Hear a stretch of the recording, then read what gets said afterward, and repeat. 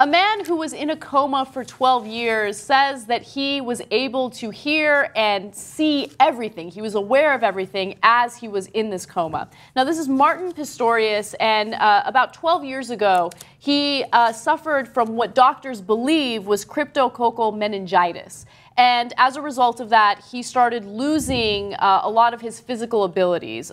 Uh, according to reports, he was unable to do things like speak, he was unable to move, he was paralyzed.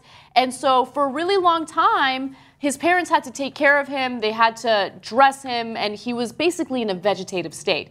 But even though he seemed as though he was in a vegetative state, he could understand everything and he was aware of everything. And believe it or not, he actually got better to the point where he's able to talk now.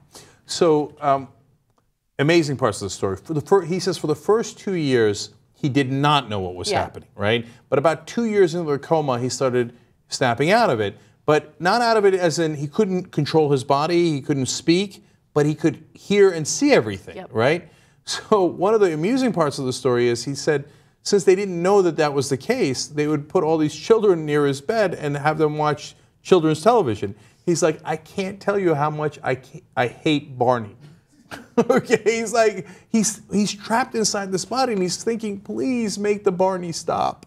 Oh my God, can you imagine like being a prisoner in your own body like that? Yeah. Where you understand and you're aware of everything that's going on around you, but you can't physically do anything about it.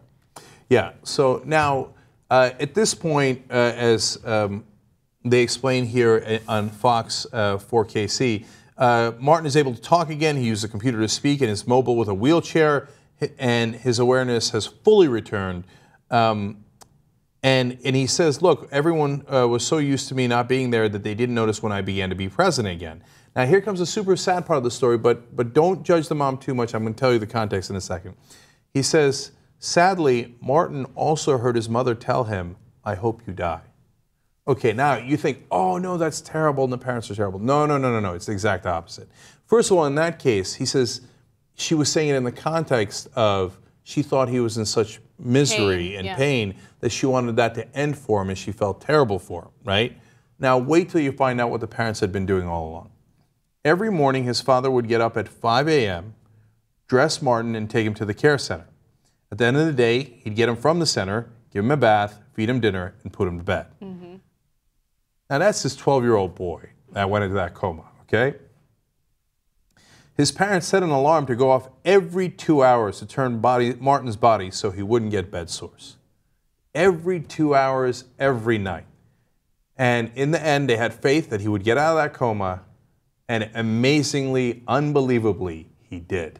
Mm-hmm. It is a great, great story of hope and hope fulfilled. So it's good to have a positive story.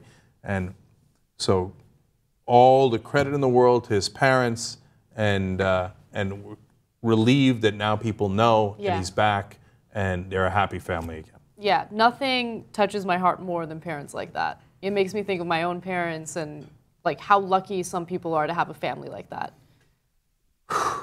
Every morning at 5 a.m. Yeah. And you, and you, ah, they're amazing, man. World's greatest parents.